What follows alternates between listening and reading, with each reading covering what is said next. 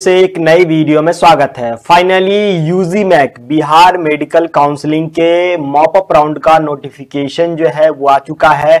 Counselling schedule भी आ चुका है। मैंने उस पर वीडियो बना दिया है कि कब फॉर्म ऑनलाइन करना है, कब आपका मेरिट लिस्ट आएगा, उसके बाद सीट मैट्रिक्स जो है वो कब आएगा। उस पर मैंने वीडियोस बना दिए हैं। अगर आप लोगों ने उस वीडियो को नहीं देखा है तो जाके उस वीडियो को देखें। इस वीडियो में हम लोग बात करने वाले हैं कि कौन कौन से स्टूडेंट मॉपअप राउंड में पार्टिसिपेट कर सकते हैं रजिस्ट्रेशन कैसे होगा मॉपअप राउंड की काउंसलिंग कैसे होगी, इसमें हम पूरा प्रोसेस इस वीडियो में जानने वाले हैं। आपके मन में Bihar medical counselling UG MAC को लेकर के जो भी डाउट है, वो इस वीडियो को देखने के बाद क्लियर हो जाएगा। ठीक है स्टूडेंट इसमें हम वो भी बात करेंगे डीडी को लेकर के बात करेंगे कि आप डॉक्यूमेंट वेरिफिकेशन में जाएँगे तो क्या होगा।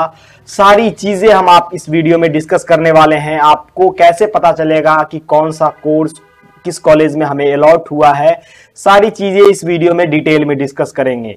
वीडियो शुरू करने से पहले अगर वीडियो पे नए हैं तो वीडियो को लाइक करें, चैनल को कर लीजिए सब्सक्राइब, ताकि आने वाले हर एक वीडियो के अपडेट सबसे पहले आप तक पहुँच सके। अगर आपने मेरे टेलीग्राम चैनल को ज्वाइन नहीं किया है तो लिंक डिस्क्रिप्शन बॉक्स में है, जाकर के टेलीग्राम चैनल को ज्वाइन करें। वहाँ पर आप सबों को फास्ट एंड रेगुलर अपडेट्स सभी एग्ज़ाम को लेकर के देखने को मिलेगा। अभी जो ऑल इंडिया के जितने भी सेंट्रल यूनिवर्सिटी है, उसका एक एग्ज़ाम होगा जिसका नाम है सीयू सेट उसके बारे में भी नोटिफिकेशन जो है, मैं अपने टेलीग्राम चैनल पर रेगुलर अपडेट्स करता हूँ। तो चलिए जान लेते हैं, ये नोटिफिकेशन जो है बीसीसी ने तेईस तीन को, यानी कि कल जारी किया है, ठीक है? यूजी मैक काउंसलिंग को लेकर के, ठीक है? जिसमें एमबीबीएस बीडीएस वेटनरी साइंस और एनिमल हस्बेंड्री में एडमिशन होना है प्राइवेट और गवर्नमेंट कॉलेजेस जो है, जिसमें सीट बचा है उसमें, ठीक है? जो सेकेंड राउंड की काउंसलिंग हुई है, उसके बाद इसमें फॉर्म ऑनलाइन करना होगा, ठीक है स्टूडेंट इसके बारे में हम जान लेते हैं वीडियो को पूरा देखिएगा। कहीं आपको कोई डाउट रहता है तो वीडियो के कमेंट सेक्शन में, या हमें व्हाट्सएप के माध्यम से, या इंस्टाग्राम के माध्यम से आप अपना क्वेरी हमें भेज सकते हैं, ठीक है? मैं आपके क्वेरी का रिप्लाई इंस्टेंट करूँगा, ठीक है स्टूडेंट तो यहाँ पे चलिए हम देख लेते हैं कि ये जो नोटिफिकेशन है, ये जारी किया गया है कल, ठीक है? यानी तेईस तारीख को नोटिफिकेशन मॉप अप राउंड के रिगार्डिंग जारी किया गया है, ठीक है? तो इसमें कहा गया है कि जिस स्टूडेंट ने मॉपअप राउंड में एडमिशन लेना है, जिस स्टूडेंट को मॉपअप राउंड में एडमिशन लेना है, वो इंडिया के किसी भी मेडिकल कॉलेज में एडमिशन ले लिए हैं वो मॉपअप राउंड के लिए इलिजिबल नहीं है। ठीक है स्टूडेंट अगर आपने फ़र्स्ट सेकंड राउंड या इंडिया के किसी भी गवर्नमेंट प्राइवेट डेंटल कॉलेज में एडमिशन ले लिया है तो आप BCC UG MAC mop up round counselling के लिए इलिजिबल नहीं है। आपका फॉर्म भरना जो है वो व्यर्थ हो जाएगा। ठीक है? यूजी मैक काउंसलिंग जो होगी, वो ऑफलाइन काउंसलिंग होगी, ठीक है? आप फॉर्म ऑनलाइन करेंगे। फॉर्म ऑनलाइन करने के बाद मेरिट लिस्ट का पीडीएफ आएगा, ठीक है? उस पीडीएफ में आप अपना रोल नंबर चेक करेंगे। रोल नंबर चेक करेंगे, उसी के ऊपर डेट लिखा रहेगा। डेट लिखा रहेगा, उस डेट को आपको कैटेगरी वाइज जो है, वो मेरिट लिस्ट में रोल नंबर रहेगा कैटेगरी वाइज ठीक है? आप किस कैटेगरी से बिलोंग करते हैं, उस कैटेगरी में आपका रोल नंबर रहेगा। रोल नंबर रहता है मेरिट लिस्ट में तो आपका एडमिशन होना, होने का चांस है। अगर नहीं है तो बिल्कुल भी आपका चांस नहीं है। मेरिट लिस्ट में अगर जितने भी स्टूडेंट का रोल नंबर रहता है, ऐसा नहीं है कि सबका एडमिशन हो ही जाएगा। जितनी सीट खाली रहेंगी, उतने ही स्टूडेंट का एडमिशन होगा, बाकी का एडमिशन नहीं होगा।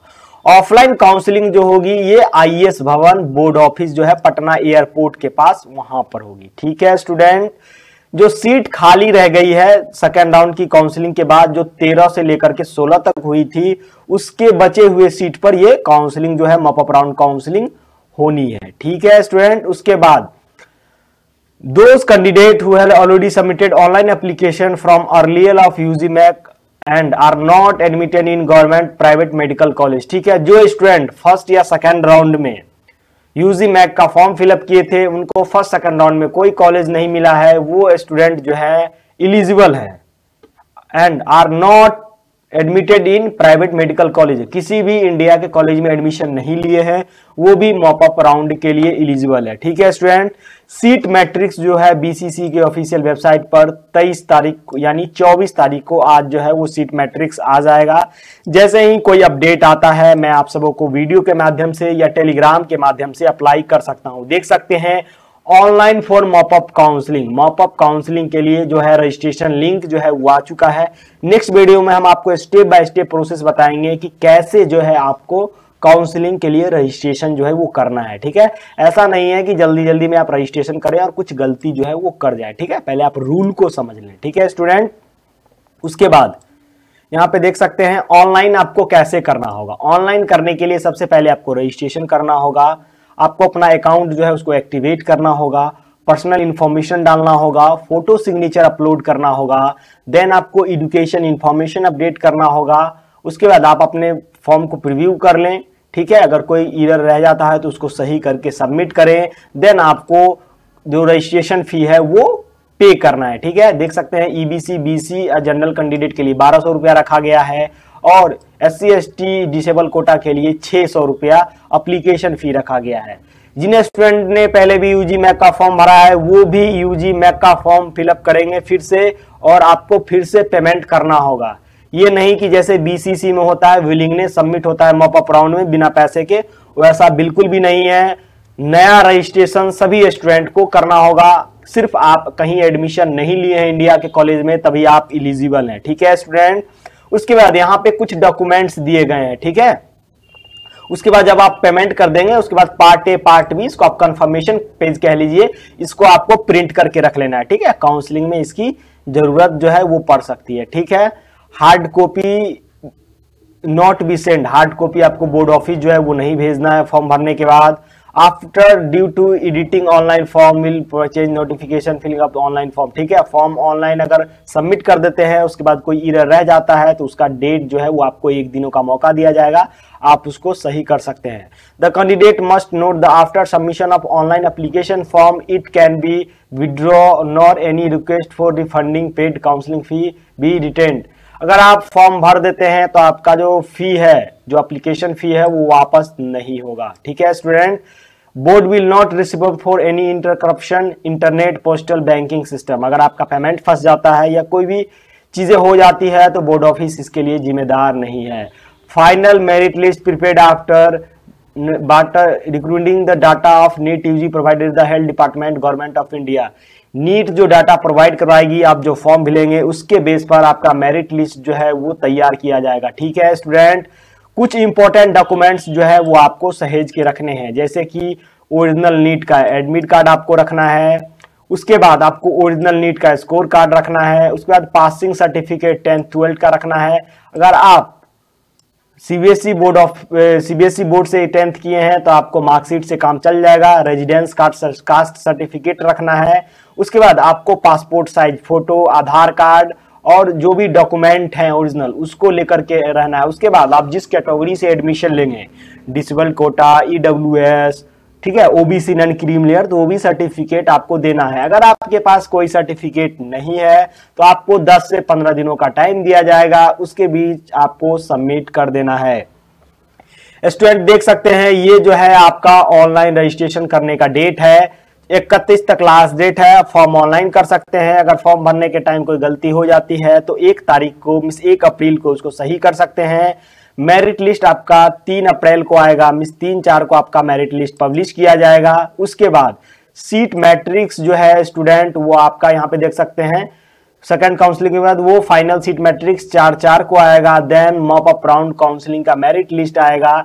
जो मेरिट लिस्ट आएगा, उसी में आपका डेट रहेगा कि कब आपको मेरिट लिस्ट काउंसलिंग के लिए जाना है। स्टूडेंट एक बात और ध्यान रखना है। जो भी स्टूडेंट प्राइवेट मेडिकल एमबीबीएस में एडमिशन लेना चाहते हैं, उनको 12 लाख रुपया का डीडी जो है बैंक से बनवा के ले जाना है, ठीक है? डीडी कैसे बनेगा, ठीक है? डीडी बनता है आपका जिस बैंक अकाउंट में, जिस बैंक में अकाउंट है, उसमें पैसा रहना चाहिए, उसी वही बैंक अकाउंट से आपका डीडी बनेगा, ठीक है? आपके किसी रिलेटिव का है तो आपका डीडी जो है, वो बोर्ड ऑफ़िस के बिहाफ में बनेगा, ठीक है? अगर आप डेंटल कॉलेज में एडमिशन लेते हैं तो पचास हज़ार का डीडी बनेगा डिमांड ड्राफ्ट बनेगा, ठीक है? उस पर मैं वीडियोस बना दूँगा कि कैसे डीडी आपको बनवाना है, ठीक है स्टूडेंट उसके बाद, चलिए जान लेते हैं कि मॉप अप राउंड काउंसलिंग का क्या प्रोसेस है सीट अलॉटमेंट कैसे होगा, ठीक है? तो स्टूडेंट क्या होगा? मेरिट लिस्ट जब आएगा मेरिट लिस्ट आने के बाद आपको डॉक्यूमेंट वेरिफिकेशन के लिए जाना होगा, सभी डॉक्यूमेंट लेकर के, जिस दिन आपको बुलाया जाएगा, ठीक है? जब आप वहाँ जाएँगे तो आपको roll number wise serial wise आपको माइक पर अनाउंस किया जाएगा, ठीक है? आप जाएँगे, आपको वहाँ पर बताया जाएगा कि इस कॉलेज में एमबीबीएस का सीट खाली है गवर्नमेंट के लिए आपको मिल सकता है प्राइवेट में ये मिल सकता है बीडीएस में ये मिल सकता है, ठीक है? स्टूडेंट अगर आपको एडमिशन लेना है तो वहीं आप डीडी सबमिट करेंगे गवर्नमेंट लेना है तो कम पैसा लगता है। अगर गवर्नमेंट में लेंगे तो आपका ओरिजिनल डॉक्यूमेंट जो है, वो भी जमा हो सकता है मॉपअप राउंड में। ये ध्यान रहे, आपका ओरिजिनल डॉक्यूमेंट भी जमा हो सकता है, ठीक है? वहीं पे आपको पता चलेगा, वहाँ पे जाने के बाद अंदर में कि कौन कौन से कॉलेज में सीट खाली है, किस कोर्स के लिए सीट खाली है एमबीबीएस बीडीएस वेटनरी साइंस या एनिमल हस्बेंड्री के लिए। अगर आपको एडमिशन लेना है तो डीडी सबमिट करें ओरिजिनल मार्कशीट सबमिट करें, आपका एडमिशन हो जाएगा। जो भी बची हुई सीट है, आप अपने कॉलेज में रिपोर्ट करेंगे, वहाँ पर आपको जमा करना होगा। एडमिशन नहीं लेना है कॉलेज पसंद नहीं है, वहीं से आपके घूम के वापस जो है वो आ सकते हैं। अगर किसी कैटेगरी में बाय चांस सीट जो है वो फुल नहीं हो पाता है तो वो सीट दूसरे कैटेगरी के दे दिया जाता है। जैसे कि माने कि बीसी कैटेगरी का दो सीट बच गया तो अगले दिन जो है वो अनरिजर्व की काउंसलिंग है तो बीसी का सीट जो है वो अनरिजर्व को दे दिया जाएगा। ठीक है स्टूडेंट आने वाले नेक्स्ट वीडियो में हम बात करेंगे कि आपका कितना रैंक है तो मॉपअप राउंड तक एडमिशन जो है वो हो सकता है। ठीक है? आप लोग हमारे टेलीग्राम और यूट्यूब के साथ जुड़े रहें। चैनल को सब्सक्राइब कर ले और बेल आइकन दबा ले, ठीक है? मैं जब भी वीडियो अपलोड करूँ, सबसे पहले आप तक नोटिफिकेशन जो है, वो पहुँच जाए, ठीक है स्टूडेंट नेक्स्ट वीडियो में हम और भी चीज़ों पर बात करेंगे। अभी भी आपके मन में कोई डाउट है तो वीडियो के कमेंट सेक्शन में कमेंट करें, हमें व्हाट्सएप पर मैसेज करें, या हमें टेलीग्राम पर भी पूछ सकते हैं। सारा लिंक जो है वो डिस्क्रिप्शन बॉक्स में दिया गया है। तो चलिए मिलते हैं नेक्स्ट वीडियो में नेक्स्ट अपडेट के साथ। एक और डाउट है स्टूडेंट का कि सर, अगर हम हमें प्राइवेट कॉलेज में एडमिशन लेना है तो कितना मार्क्स तक आपका एडमिशन हो जाएगा? तो स्टूडेंट मैं एक बात बता दूँ, अगर आपने नीट क्वालिफाई किया है तो मैं दावे के साथ कह सकता हूँ, बिहार के प्राइवेट कॉलेज में आपका एडमिशन हो जाएगा, ठीक है?